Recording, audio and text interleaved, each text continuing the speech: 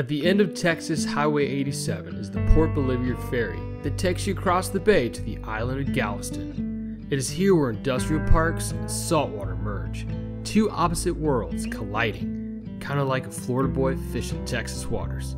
The salty breeze coming off the Gulf was the warm Texas welcome I'd been looking for, a precursor to the inshore excursion the next day would bring. I'll be heading out on Galveston Bay with my good buddy Captain Derek York who's been fishing these waters for 20 years. I think it's safe to say that the fish don't have a chance. I'm looking for the unexpected, something I don't see every day, and I'm pretty sure it's out there, hiding under a buoy.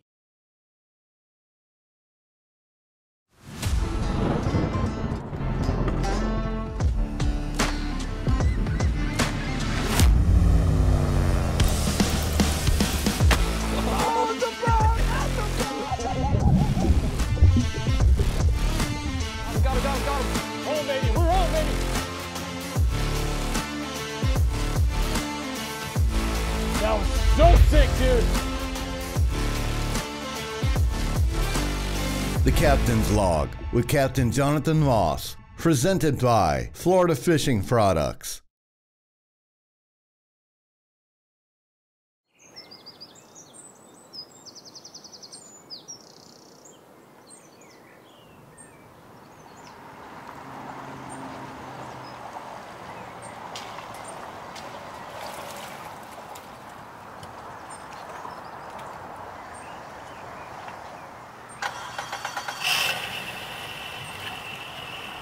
I'm ready to uh, Do some fishing. get you out on Galveston Bay. First time I've ever fished in Texas. Well, I'm Seeing excited. Bait popping. Got a beautiful morning.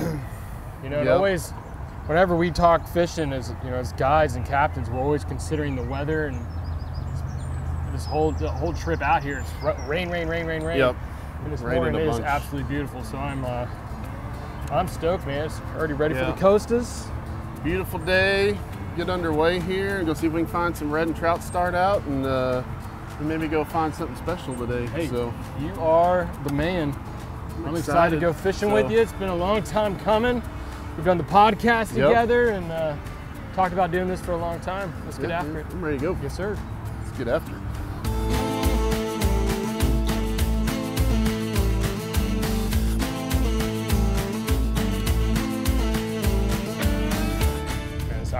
Fishy. This point up here, we got Yep. a bunch of bait already popping.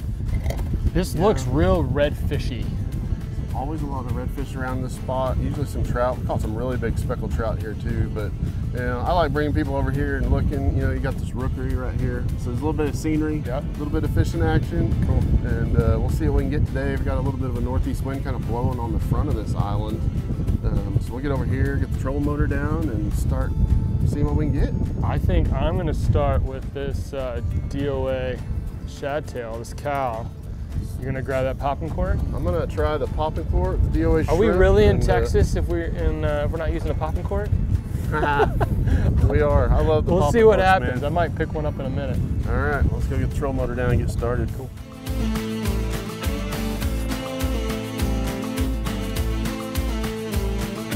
Oh, little one. See what we got. Got a little, Little, redfish little redfish. right up on that point. Micro red. First fish of the day, though. Hey, getting started. Yeah. You know, and as, as turbid and dirty as this water looks, that he looks pretty clean. Yeah. Pretty. Look at him. Tail lit up blue. All right. See you later, buddy. I knew you were gonna get Yeah, stuck. you nailed right that there. shrimp, man. Right there by that on this point. Water flowing by this this edge here, this corner. Looking fishy. The Captain's Log with Captain Jonathan Moss. Presented by Florida Fishing Products. Is brought to you by Florida Fishing Products. Icon Coolers. Denko Flyers. Temple Fork Outfitters. Skinny Water Culture. And Go Castaway Fishing Charters.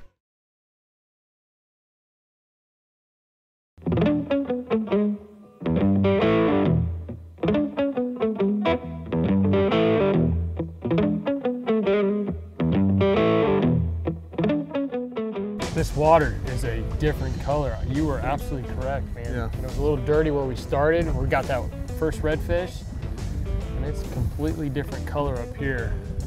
A lot greener, a lot clearer. Um, we got all that rain, so just kind of turned that water down south into the bay. A little bit dirty, and uh, made the run over here a little bit to the east. And uh, I think we're gonna see what we can find over here, man. We might find some some uh, saltwater crappie. Saltwater crappie. So- triple tail, huh? Yep. So we're just gonna kind of bounce around, look at some of these poles. I wasn't uh, expecting coming to Texas to catch a triple tail. yeah. Well, it's been um, it's been a good year for them. So. Uh, Well, I ain't like they have a complaining, man. I love me some so- triple tail. They're a blast to catch. They're gonna be floating up on the surface. Yeah, they should be. We should be able to see them. They'll either be up on their side or sitting in the shade of these poles. So it's good now. Sun's got up a little bit, so it's a little bit easier to see them. Yep, yep. There's one right here in this corner. See him on the back side. This buoy. Let me grab a rod.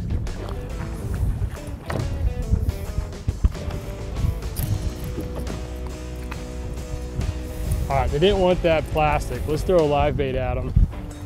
See if they come up and eat a live shrimp. There's one under it. Yep. Just leave it. Got him. Got him. Look at that, brother! Triple tail! Yeah. Woo. Yes, sir. Nice one, too. Made that switch. That just they they're not floating high. They're just sitting kind of right below these buoys. Put that live shrimp on there. A little split shot weight.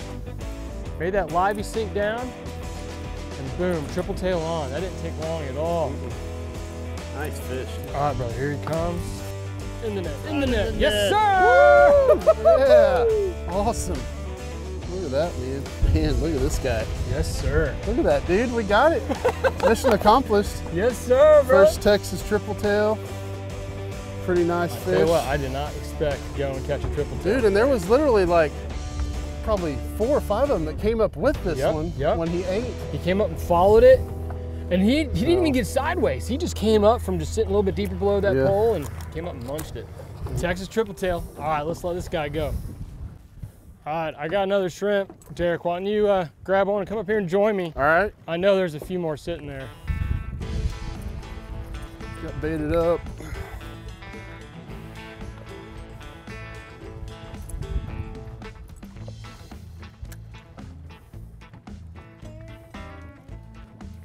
That's the zone right there. Oh, I just Yep, saw they're already fish. on it. Yep, he's got him. Get him. Yep, fish on. Tight, baby. Fish on. Tight, baby. See if I can get double up with you. the triple tail dance. That's a nice one too. Oh yeah, real nice fish. Look at that guy. I'll come help you. I was gonna see if I could double up, but I'm gonna come help you.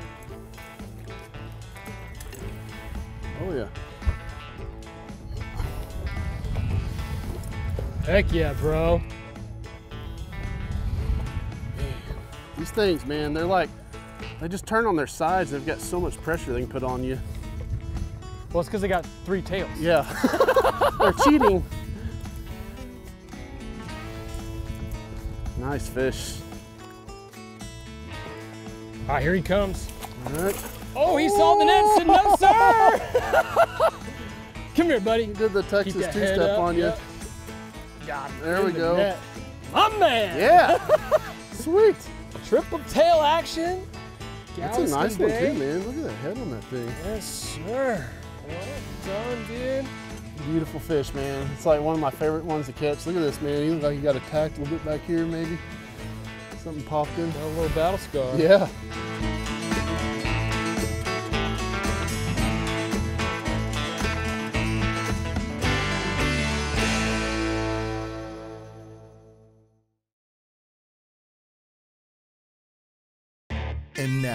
The Conservation Challenge with Captain Jonathan Moss. I love going fishing. I love catching fish. I love releasing fish. But it's important that when we release fish that we do so properly. See, there's a thing called cryptic mortality, which simply means a fish, after it's been released, dies because it was improperly handled and improperly caught and released. Here's the biggest thing for that, the biggest factor that causes cryptic mortality, and that's the vertical hanging of fish. What I mean by that is when you grab that fish by its jaw, either with your hand or a pair of bogas, and it's hanging vertically. Think about gravity is now pulling on that fish, but when it's in the water that belly of that fish, that body, its internal organs are being supported. When it's out of the water, if it's vertical, it's being grabbed by gravity, those internal organs can tear. You might not see it, you might not see the bleeding, but it can hurt the fish. So it's crucial that we are properly holding our fish when we plan to release them. This applies for our redfish, our speckled sea trout, our snook, and our black drum, our four big inshore species. Our fifth would be tarpon. Tarpon are a different breed, and what I mean by that is in the state of Florida, if the tarpon is over 40 inches or 40 pounds, you have to leave it in the water. If, you, if it's less than that, of course, you can bring it into the boat, but again, properly hold on to it. If you want to learn more, visit our website, captainslogtv.com slash education to learn more about cryptic mortality. Oh man, look at that cast. Moved up here. Oh, No, I was, my, mine was Are swimming the- around the pole. on the pole Shrimp there. was swimming around the pole. Yeah.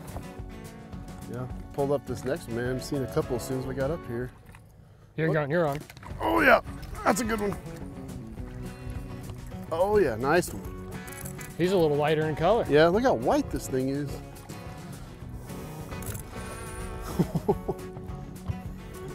There's another one up on the pole. Unbelievable fishing. I'm bit. I'm on. I'm Right, on. Double yeah. baby. Oh, there's, he's, Oh, he's there's another one he jumped and the other one's with him. He's still Holy following cow. it. He's still following it. Look at him. He's trying to eat the cork. he's still there. There's one right Yeah. behind Here, it. take this route. Take this route. Let's do something crazy. Where's that DOA shrimp? Holy cow, look at this. Oh my gosh, look, look at this triple tail are all over the place. Where'd he go? Where'd he go? He's right here, right here in front of me. Oh, that's nuts. He swam off. I thought we could triple up. That would be crazy. Give me one. that was absolutely insanity, bro. Look at That that. was crazy. Texas triple tail rodeo today, brother. Yeah, I got the net. all right.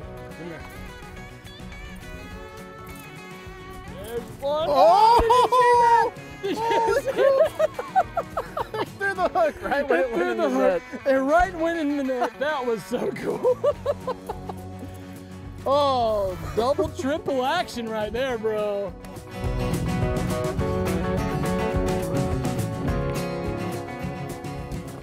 Sweet. Him to you. There's mine. Look at this, man. They're not monsters, but man, they sure are fun to A catch. whole lot of fun. Mean, just And having that third one Oh, yeah. hitting the popping I can't believe. You better watch this one. You may pull it in the water You know. I, I was like, man, I'm gonna give you my rod. I'm gonna see if I can stick one because he was floating high, he was chasing it. Yeah. But by the time I came back up with that plastic, he was already swam down. Super cool. Such a cool fish. Well, that is what we came for, brother. You gave me a call and you said, dude, we got some, we got some triple tail. I know, man. Maybe. It's like you never want to say jinx it, you know, but man, they're on fire up here. Heck so yeah. Pretty cool, man. Doesn't happen every year either. No. We don't get a lot of these all the time. Triple so. tail action, Galveston, Texas. That's what dreams are made of, brother. Yeah, heck yeah. Gonna get them back in the water. Yeah, let's get him back in. Ready, buddy? Yep. Look at this. See you. Gone. Love it when they just swim right out of your hand. Heck yeah, man. Yes, sir, dude. Awesome. it, you can't beat that, Can't beat that, dude.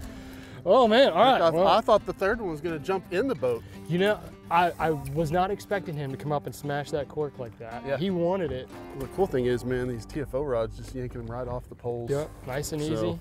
Because they're Light definitely tackle, they're definitely but- trying to wrap you back up in there. You know, Oh, with the they when they barnacles eat it, they're definitely swimming back in that structure. They Mhm. want to get you broken off real quick. And now, the Tackle Box Tip with Captain Jonathan Moss, presented by Icon Coolers. Two knots that every angler needs to know. Two knots that I use every day, whether I'm offshore, I'm inshore, or I'm bass fishing. And that's the uni to uni and the clinch knot. Now I use the uni to uni knot to connect my main line, my braided line, to my fluorocarbon leader. In this case, 30 pound Florida Fishing Products Infinity Fluoro. This is gonna be an inshore rig. Let me show you how to do that real quick. I'm gonna wrap and create a loop with that braided line and that leader. I'm gonna wrap that leader around the braid five times. Pull it tight, bring that together, cinch it down. We'll see that the, the, the wraps will lay over each other. You're gonna do that same exact thing. Take that braided line, create that loop around your fluoro. Now again, I'm gonna wrap it five or six times. I'll go further, a few more wraps depending on the thickness of the braid in comparison to the leader. Get that wrapped around, pull it tight. Now, pull the two together. I like to lick the line to lessen the friction. You're good to go. Cut off the ends. Got my pliers here. Clean that up. That connection will slide through your guides nice and easy. It's a quick, easy knot to tie, and it's strong. Now, from your leader line, fluoro, to your hook. This is the clinch knot. Stick that tag in through the eye of the hook and I like to pinch it. Now you can wrap it five times. Bring it through, pull it tight. You know you did it right when it's sticking out a 90 degree angle. Trim off the excess and you are good to go. Two knots, the uni to uni and the clinch knot two knots that every angler needs to use, whether you're bass fishing, you're inshore saltwater fishing, or you're offshore fishing. Learn these knots, learn them at home, practice at home, you'll be able to master this so you can get it done when you're in the water really fast so you won't waste any time fishing.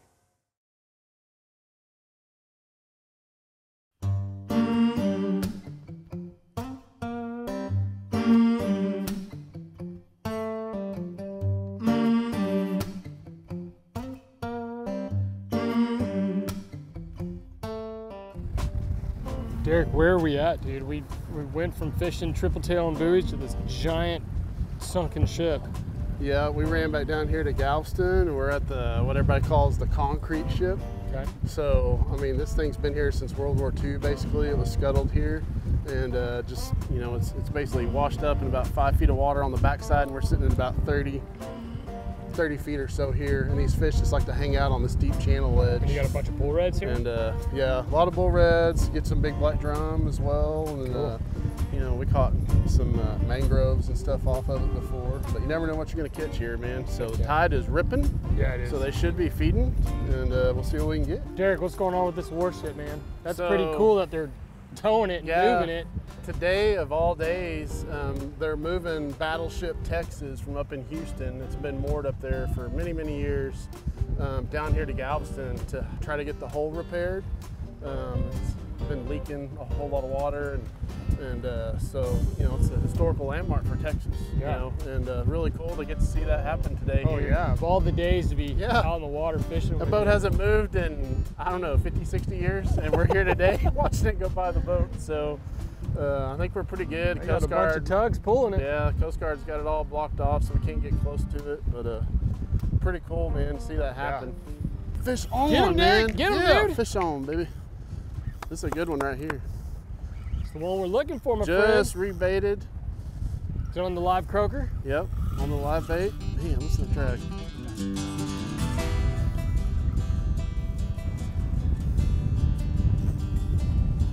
Feels like a redfish. We'll see. It's not a hardhead.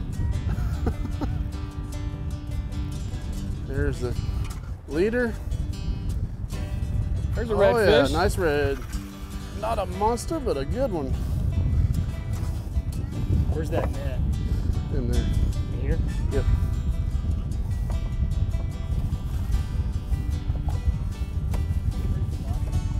Alright, come here, man. Listen to it drumming. Nice. Yeah. Nice work, Yeah, dude. dude. Heck yeah.